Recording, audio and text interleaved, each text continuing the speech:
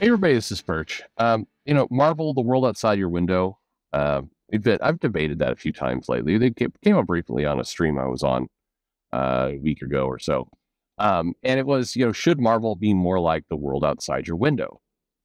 And the answer is, um, I, in my view, is kind of no. But it, it depends on what you mean by that. And and you know, I think the way that it, it's you know the, the example I would give is this one. I don't believe, you know, opinion of me, I don't believe that comic books that are you know meant to live on forever. So I'm talking about you know Marvel, DC, if uh, you know things like The Walking Dead, stuff where there's uh you know The Walking Dead doesn't terribly count, but where you know you're you're gonna have uh, you know many many years of comics in this run. If you're doing a little indie comic, you you know do whatever you want, and you know, but you don't, you don't have to live with kind of continuity and all that.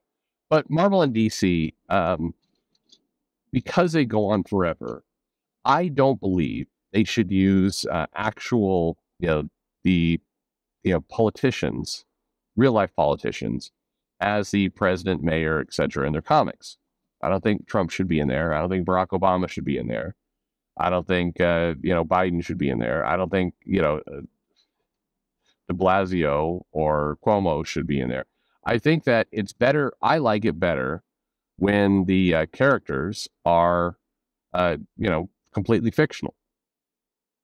And I say this for a few reasons. Uh, one, I think it, it helps a comic be more evergreen when they do this. I also think um, the temptation for the writer to start to, you know, insert kind of their political views of these individuals into the the comic gets very, very high when you start to, you know, have real life characters in the comics. And then you're, you know, you're putting a burden on the artist to try and render the person well. The artist typically you know, renders the uh, celebrity to look really like they're they're either tracing it or they're. It just it always looks weird in the context of um, you know the the rest of the comic. Um, Humberto Ramos uh, did uh, a couple of these where I think it was Obama. I may be wrong, but anyway, there was a couple people that were celebrities in in his comic, and he kept it in his style, and I was like, wow, good for you. You know, most people don't. So it, it just from a visual standpoint, it often looks jarring to me. Um, and then uh, you know, I, I just I just think it's a bad idea. I think the comics should not use those real life characters. I think they should keep it all fictional. Um, the argument, kind of the the counter argument to that, is that the, uh, the if we're going to hold the truth of the world outside your window, then you need to use these real life celebrities. You need to use you know Obama because he is the president. So you know you shouldn't have J. Jonah Jameson and you know, Kingpin and Luke Cage becoming mayor because that's that's not the world outside your window. And I'd push back on that a little bit, going, look, we've got, you know, we got superheroes flying around. We got, you know, the Baxter building, or you know, we've got we got various things going on um, throughout comics that are, you know, interacting with our world. The world outside your window is not meant to be literal. It what it meant to be is like we're going to tackle some, you know, real life situations. We're going to be, we're going to make it a little bit more grounded. We're going to uh, every now and then steer into something like, I don't know, poverty or homelessness or, you know, themes like that. We're going to, we're going to talk about kind of, we're going to think about how you would feel as a citizen if a superhero was running around, you know, in your world. We're going to start, we're going to play with those things. And that's what World Outside Your Window was meant to mean it wasn't meant to mean we're going to, you know, give you exactly what's outside your window because, you know, there are lots of windows in this country in lots of states with lots of different neighborhoods. And so, you know, it, it, it's just, it's a dumb thing to chase if you're selling a comic that's meant to be distributed globally. You know, so I, I think that that's, that's to me how I take world outside your window. And I don't think that, you know, that, that it's meant to be it's meant to be so uh, literally taken. But um, you know, I I do think there's an argument to be made that you know we should separate you know some of these characters. I th- this came up because people were complaining of you know Luke Cage being mayor is dumb. You know that that breaks the illusion of world outside your window. And I do I, I agree to some extent that it it takes a couple steps away from what I just described because now you've got a you know superhero in government and they're trying to now mash up government things with superhero things, and it's starting to kind of warp what government is. I mean, like it, it just, there, I, it's a slippery slope for sure. Uh, but I also think you know you could get some interesting stuff out of it. Now, of the three people, and you had uh, Luke Cage and you had Kingpin. I think the only one that Marvel really did anything terribly interesting with was Kingpin. I think that having a kind of villainous mayor who was like, you know, being a thorn in the hero's side, but doing it legally, uh, created some interesting stories. And I think Marvel sort of took advantage of that a little bit.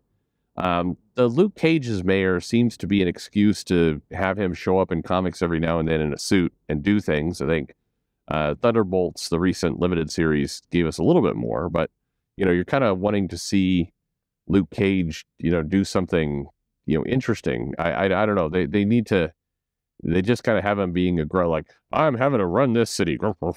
Like that's like, you know, now he's no longer Luke Cage to a large extent. Um, you know, I, I think that that's something that the writers need to work on. Uh, whenever they do these big kind of changes, they seem to take away the character's personality in the process. It's not unlike what happened with uh, Sam Wilson Falcon when they made him Captain America. Suddenly he's he's like a drill sergeant, and you're you're like, wait a minute, that's not that doesn't line up with uh, Sam Wilson, the comic character. I understand it lines up better with Sam Wilson, the MCU character, but you know the comic character that's that's not really accurate at all. Like, why is he suddenly like? I, I don't know. It, it just bugs me. I've I've mentioned this before. Like on your six, come on, file up formation under me. It's like, well, hold on, that's not. You never talked like this before.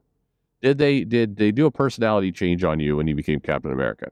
I think the same thing is true whenever you take superheroes and you put them in these roles. Suddenly they they become less themselves.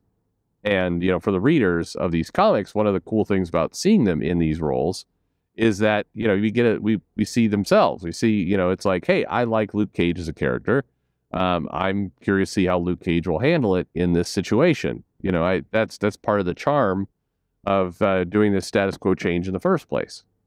Uh, but you know, so you you put him as mayor, and then suddenly you change him to a, kind of a generic mayor figure. I, I mean, I don't know. You're, you're kind of ruining you're ruining the whole thing at that point.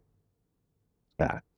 Anyway, I, I think overall, um, you know, the the idea of making the comics uh, super hyper realistic, again, I, I think it's uh, it's a trap half the time and I think it's uh, it's it's a bad idea if you take everything, like I said, incredibly literally. I think it's it wasn't meant to ever be that.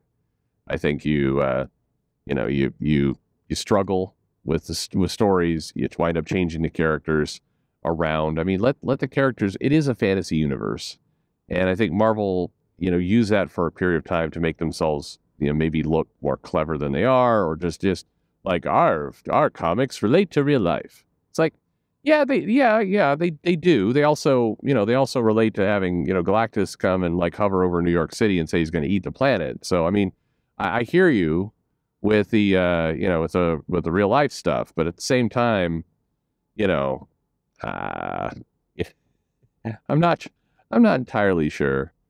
Um, not entirely sure that uh, you're you're really living up to this world outside your window dream. But but there you go. I don't know. What about you? Do you like uh, how how real world how real world do you want your comics? How outside your window do you want them? Uh, do you does it bother you when uh, real life characters show up in comics? Did you love that Hellfire Gala and all those celebrity appearances? Maybe uh, maybe maybe you love that, and I'm just uh, you know peeing in your cereal at this point. Anyway, Perch D Perchington out. Thanks for listening.